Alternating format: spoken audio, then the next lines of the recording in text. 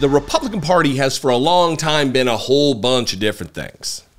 One of the things that they have not been um, is a grift operation, is a scam operation. And there's no better instance or today's version of the in- instance. Kristi Noem tweeted this remarkable tweet yesterday at 11:30 p.m. It's a commercial for her dentist in Texas. And there's a whole bunch of what's wrong with this that I'm going to talk about that, that, that uh, doesn't just include making fun of this cringe ass commercial that she put out. It's there's no marker for an ad. It's not clearly delineated as an ad advertisement for her dentist when it clearly is an ad.